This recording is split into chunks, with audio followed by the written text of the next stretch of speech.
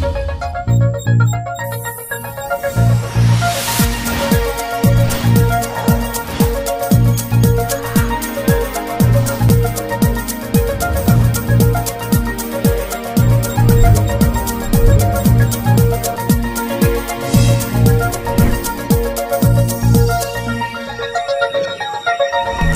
Saludos, bienvenidos un día más a Noticias Canal Sierra de Cádiz.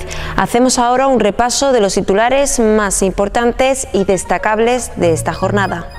La Junta de Andalucía ha dotado de una subvención de ayuda contra la violencia machista a la mancomunidad de la Sierra de Cádiz. 130.000 euros son los que se destinarán a varios fines como la contratación de trabajadores sociales y psicólogos para apoyar las labores del Centro de la Mujer Mancomunado. El grupo político de Ciudadanos en Arcos ha propuesto un cambio en la gestión de la empresa Ecoreciclaje. Desde la formación naranja han subrayado que este cambio de gestión debe tener asociada la subrogación de los trabajadores. Este fin de semana continúan los actos de las jornadas fundacionales en Villamartín, desde obras de teatro, espectáculos musicales, conferencias o concursos, hasta eventos deportivos como la carrera La Fundacional, han sido todas las actividades que han vivido en la localidad. El Partido Popular de Arcos de la Frontera ha denunciado la paralización de las obras de la piscina cubierta. En el mes de octubre, el alcalde de la localidad de Arcos de la Frontera anunciaba una inversión de 500.000 euros a través de los planes invierte de la Diputación de Cádiz destinados a la piscina cubierta de Arcos, actuación que finalmente el ayuntamiento ha frenado. Con fecha del 4 de febrero, en Junta de Gobierno local, el ayuntamiento eh, de Arcos acuerda eh, aprobar la propuesta en relación al desestimiento del expediente. Esto quiere decir que se paraliza la adjudicación de la obra.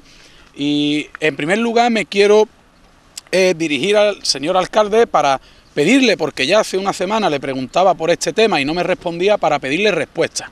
Respuestas en aras a la transparencia y respuestas también porque creemos que los ciudadanos de Arco, al igual que deben de saber cuando se va a realizar una inversión y usted la anuncia, también, también creo que es de justicia que sepan la paralización de la adjudicación. El Partido Popular ha aclarado que ellos creen saber a qué se debe esta situación. ¿Qué es lo que ha ocurrido aquí para que me entiendan los vecinos? Han abierto los sobres de la propuesta económica sin que esté ningún contratista presente. Por lo tanto, por lo tanto, el proceso queda eh, en la mesa, lo tiene que anular por cometer este error.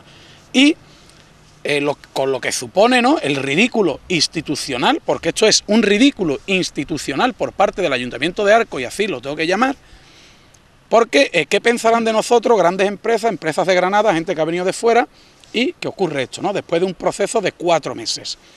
Se paraliza el proceso y ahora hay que volverlo a iniciar desde el principio. ¿Qué conlleva esto también? Pues hombre, conlleva que en un pueblo como Arco de la Frontera, donde tenemos un 30% de paro, y un 50% de paro juvenil, una obra, la única, la única iniciativa pública, la única obra pública que iba a haber en Arco en el año 2020, pues ahora mismo no tenemos ni idea de cuándo eh, se va a dar comienzo, porque al final con este tipo de obras pues también se palia un poco los problemas de empleo. El Partido Popular ha planteado una serie de cuestiones para el equipo de gobierno como son... ¿Por qué el señor alcalde no anuncia esta paralización? ¿Por qué, señor Gambín? Usted que se le llena la boca hablando de transparencia y como le dije hace alguna rueda de prensa, con esos índices de transparencia, diga usted y explíquele a esta oposición y al resto del pueblo por qué ha ocurrido esto. Y de puras responsabilidades, porque ya estamos los ciudadanos cansados de que ocurran las cosas y no se depuren responsabilidades. Asimismo, el Partido Popular se ha preguntado lo que va a ocurrir con los 500.000 euros de la inversión. Por todos es sabido que los planes invierte, como todos planes, ya sean estatales, autonómicos o provinciales, tienen unas fechas de inicio y unas fechas de finalización. ¿Se va a perder los 500.000 euros? ¿Se van a gastar en otra cuestión? Aquí hay que responder ahora mismo las cuestiones que se plantean tanto a los futuros usuarios, los deportistas de arco interesados en esta obra, como al resto de los vecinos, porque desde luego desde el Partido Popular no queremos que se pierda una inversión de 500.000 euro que, como le digo, eh, tan, tan buena es para Arco en estos tiempos que corren. ¿no?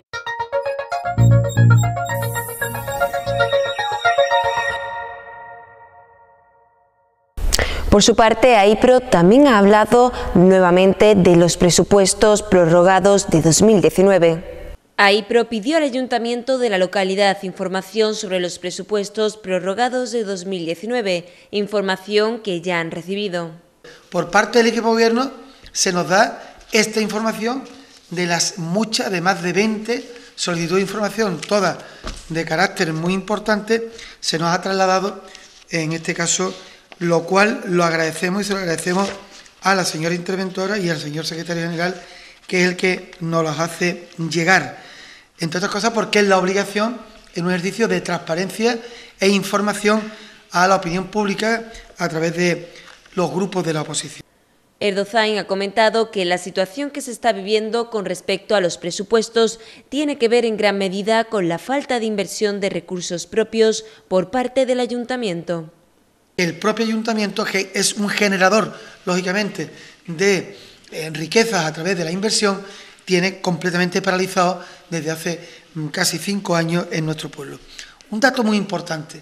Importante porque este equipo de gobierno, una de sus premisas, siempre ha dicho, siempre ha criticado a nuestra época de gobierno, que ya también hace algún año que otro, casi cinco años, que el capítulo 1, el capítulo de presupuesto, siempre pues se había disparado notablemente y que ellos habían hecho un recorte importante a la hora de la contratación del personal, una contención en el gasto en el capítulo 1 que viene prácticamente a llevarse más del 50% del presupuesto real de nuestro ayuntamiento. Erdogan ha asegurado que una cosa es lo que dice el equipo de gobierno y otra lo que realmente hay. En el capítulo 1, capítulo, insisto, de personal, lo que se gasta el ayuntamiento en personal funcionario, laboral, temporal, etcétera, etcétera, pues se parte inicialmente de unos créditos de 13 millones de euros aproximadamente, se hace una modificación al alza en más de 4 millones de euros y el total del capítulo 1 de gasto se eleva por encima de los 17 millones de euros. Sobre un presupuesto en torno a los 31 millones de euros, con lo que os digo que está en torno al 60% de gasto en personal. Bien, creo que es muy importante este gasto, este dato, 17 millones de euros en personal. Contención en el gasto, pues estáis viendo que ninguna, porque el aumento se traduce en 4 millones de euros sobre el presupuesto inicial. Lo que estamos hablando, pues una tercera parte, casi un 30% más de aumento en el capítulo 1 de personal. De este modo, desde AIPRO aseguran que la mala relación entre el equipo de gobierno con la interventora viene debido a que dicha interventora les dijo que hay que poner ciertos límites. Que hay que poner un freno a la contratación al capítulo 1 porque si no mal lo llevamos y mal lo lleva este equipo de gobierno. Pues bueno, yo creo que el, alcalde tendría que decir, tendría que explicar todo esto a los medios de comunicación, a la opinión pública, para saber qué es lo que pasa en el ayuntamiento y no contarnos cosas que después realmente poco nos puede interesar.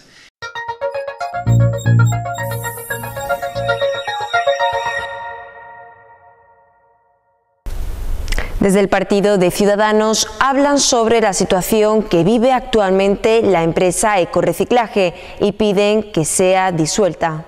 Desde Ciudadanos Arcos han criticado duramente la acción del equipo de gobierno respecto a la gestión de la sociedad mercantil de ecoreciclaje. La portavoz naranja ha afirmado que la disolución de la empresa es la mejor opción. Este nuevo modelo de gestión puede ser, puede ir encaminado a que sea más rentable para nuestro ayuntamiento, más transparente, por supuesto, y por, último, pues que eh, la calidad del servicio sea muchísimo mayor. Eh, el nuevo modelo de, gestión que, pretendemos que lleve a cabo nuestro ayuntamiento eh, debe de considerar, debe de tener en cuenta a la actual plantilla eh, de ecoreciclaje. Nosotros desde Ciudadanos estamos proponiendo un nuevo modelo de gestión, pero no un cambio de la plantilla. Eh, es fundamental que los trabajadores deben de, mm, obtener todos los recursos para desarrollar un servicio de calidad como es el que solicitamos. Respecto a la contratación del personal, Sánchez ha puesto sobre la mesa que las contrataciones se realizan siguiendo el derecho privado. Tenemos que decir que estas contrataciones se vienen realizando fundamentándose eh, principalmente y exclusivamente, como no, en el derecho privado, lo cual pues eh, evita que se tengan que seguir por los mismos procedimientos y por los mismos principios que tiene que regir el acceso al empleo público. Y bueno, y por supuesto, eh, esta forma de contratar, esta forma de contratar basándose en el derecho privado viene fundamentado por unos estatutos, unos estatutos de la empresa que entendemos que están totalmente obsoletos, desfasados y que, por supuesto, no se ajusta a la normativa actual en este sentido. Asimismo, Álvarez ha instado al equipo de gobierno a que presenten las cuentas anuales que quedan pendientes con respecto a esta empresa. Por eso, por todo esto, es por lo que instamos a nuestro equipo de gobierno a que rindan de una vez por todas las cuentas anuales de esta empresa y que, por supuesto, resuelvan este problema. Este problema eh, cuanto antes, lo más pronto posible, porque una de las principales, este problema es uno de los principales por los que no vamos a conseguir nunca eh, elaborar unos presupuestos reales y más adaptados, más eh, cercanos a la realidad de nuestro ayuntamiento. Así que tomemos decisiones, mm, por muy drásticas que sean, pero seamos, valientes, tomemos decisiones y hagamos lo mejor para nuestro ayuntamiento y en este caso es evitar esas pérdidas mm, económicas tan grandes que está provocando eh, la sociedad mercantil Ecoreciclaje.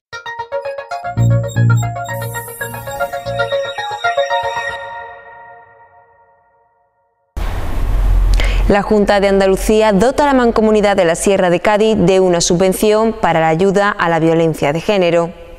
Esta subvención, que tiene un valor de 130.000 euros, estará destinada a dos líneas de trabajo. La primera de ellas será la contratación de trabajadores y trabajadoras cualificados como psicólogos y trabajadores sociales para reforzar las labores que se llevan a cabo desde el Centro de la Mujer Mancomunado. Eh, la subvención incluye eh, destinar 110.000 euros a la contratación eh, de tres especialistas. estamos hablando de una persona de trabajo social, también de, un licenciado en, psicología y de una persona vinculada precisamente al, derecho para constituir un nuevo grupo de, trabajo que vendría a duplicar el trabajo que se está haciendo a través del Centro de Información a la Mujer Mancomunado que existe en la casa. Se dispondrá de un equipo que se trasladará a los distintos municipios que componen la mancomunidad. Vamos a poner a funcionar a lo largo de, estos próximos meses a un segundo equipo que en este caso se va a trasladar de una manera aún más decisiva a los distintos eh, municipios. Estamos en estos días eh, ultimando un convenio de, colaboración eh, con un par de ayuntamientos de, la comarca que van a ser quienes ostenten precisamente la sede de este segundo equipo que lo que va a trabajar fundamentalmente es con, con mujeres en el asesoramiento, en la necesidad de, información y lo más importante, en la prevención de, la lacra, de, la violencia machista. Este segundo equipo multidisciplinar viene a sumarse al trabajo que actualmente está desempeñando el equipo. Eh, se ha conseguido una subvención que alcanza los 20.000 euros, que es una cantidad que se va a destinar fundamentalmente a tareas de, sensibilización. En este sentido, en estos próximos días vamos a presentar también a los distintos alcaldes, a los distintos eh, municipios, todas y cada una de las líneas de, trabajo que vamos a llevar a, los municipios para acercar este servicio necesario de, información a, la mujer a todas aquellas personas que, bueno, que tristemente necesiten de la intervención. Por otro lado, se ha dotado a la mancomunidad de otra subvención que irá destinada a las tareas de sensibilización. Las cooperativas se preparan para la próxima manifestación el 18 de febrero. La localidad de Villamartín se encuentra empapelada por los carteles de esta próxima manifestación en defensa del campo. Estamos movilizando a la gente, poniendo carteles por todos lados. Esto es una concentración que se hace a nivel de todas las organizaciones agrarias, incluida también la Federación de Cooperativas Agrarias de, Cádiz, pues a nivel, a nivel provincial, ya que es, un recorrido que se está haciendo por todas las provincias manifestándose. El campo ha llegado ya a unos momentos que en el que eh, la, la rentabilidad ya no antes siempre, bueno, para un cultivo determinado, es que en este caso son absolutamente todo, no dejan rentabilidad ninguna. Otros de los motivos de dicha manifestación es la indignación que siente la mayoría de los agricultores. es que luego como ven que sus productos, luego en el mercado los consumidores pues lo están pagando un 400, 500, 600% más y algunos de forma escandalosa. Eso es inaguantable, nosotros lo estamos produciendo todos por debajo de, los, precios de, coste y lógicamente, bueno, por, eso la indignación que se tiene eh, ahora mismo es brutal. Por su parte, el presidente de la cooperativa ha comentado que espera que el día 18 se produzca un paro general en toda la actividad agraria. Para que ese día 18 esté todo el mundo aquí con sus tractores si se puede y si no eh, personal o físicamente. Eh, al objeto de demostrarle una vez más al gobierno que eh, no que el sector no puede aguantar más. Y no es como dijo el secretario general de la, de la UGT en diciendo que esto era cosa de terrateniente y de gente carca. El carca será él Asimismo, el presidente ha recalcado que pensar que esto es cosa de terratenientes es totalmente falso. Todo el mundo puede comprobar eh, por el efecto de la movilización que yo creo que no hay tantos terratenientes en España como, gente de agricultores que está movilizando.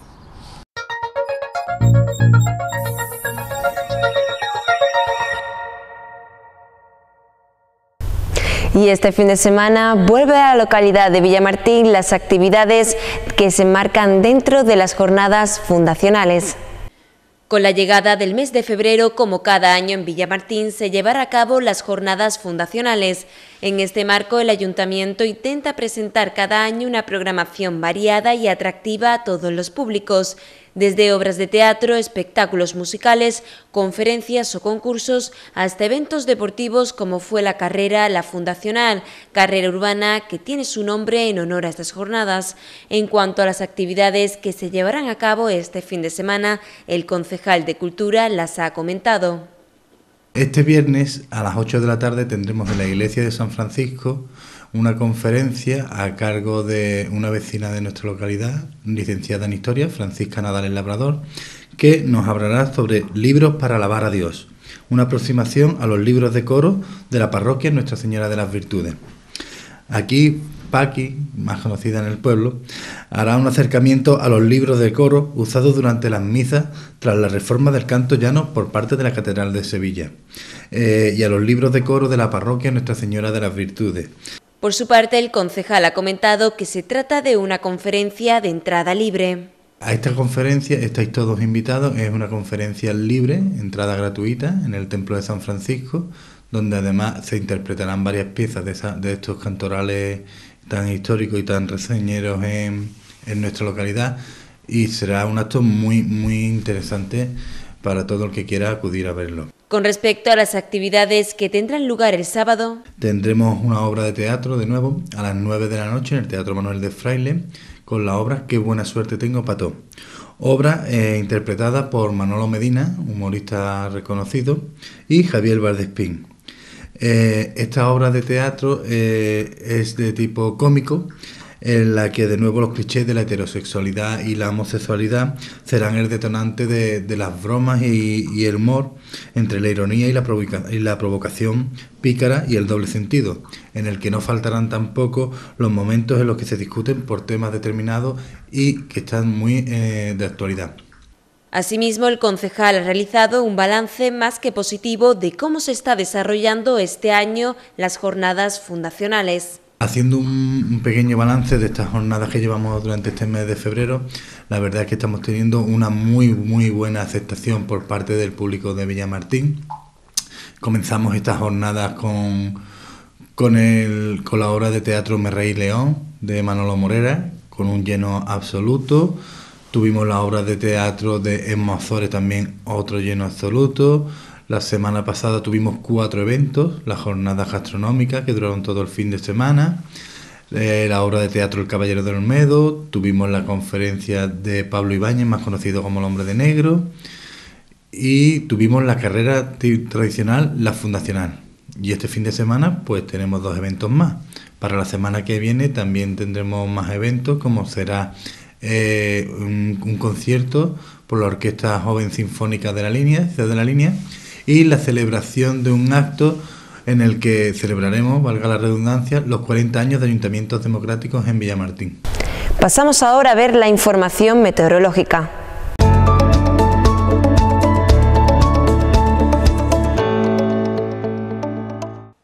Hola, ¿qué tal? Este viernes ambiente suave en gran parte de la península con ascenso térmico como podemos observar en el mapa de temperaturas máximas tanto en la zona centro y sur de color amarillo en torno a los 20 grados tanto en Andalucía, también en el área mediterránea y en ambos archipiélagos. De cara al sábado también ascenso térmico casi generalizado que será más significativo en la meseta norte, también en el Cantábrico y en el Valle del Ebro. Reflejo de ello será también en el mapa de superficie, podemos ver cómo las altas presiones dominarán la península, también ambos archipiélagos, dejándonos tiempo estable y seco con ambientes soleado de cara al fin de semana. Eso sí, de cara al viernes por la mañana, durante la primera mitad del día, podemos observar cómo continuaremos con inestabilidad en el noroeste peninsular, con lluvias débiles en el oeste de la comunidad gallega, además de fuerte oleaje con olas entre 4 y 5 metros, tanto en Galicia como en puntos del Cantábrico. También amaneceremos con brumas y bancos de niebla matinales en la meseta norte, también en Extremadura, al igual que en la meseta sur y en el archipiélago balear, mientras que en el resto del país, tiempo más estable y seco, con cielos eh, soleados, como podemos comprobar en el Cantábrico, también en Aragón, en Cataluña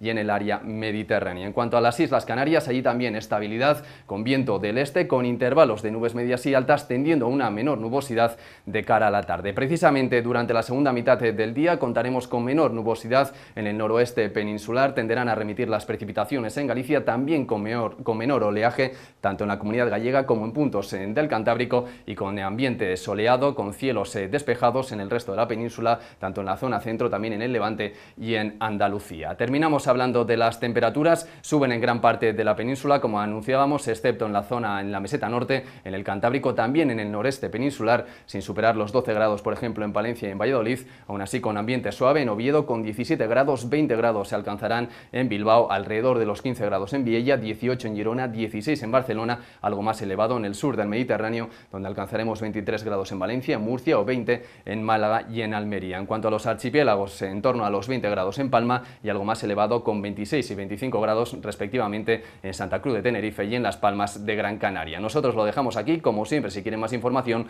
www.aemet.es.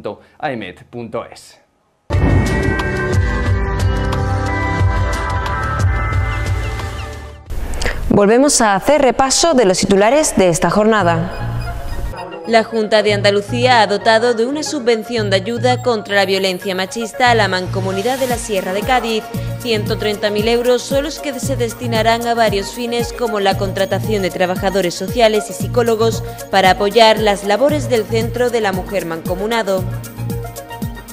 El grupo político de Ciudadanos en Arcos ha propuesto un cambio en la gestión de la empresa Ecoreciclaje. Desde la formación naranja han subrayado que este cambio de gestión debe tener asociada la subrogación de los trabajadores.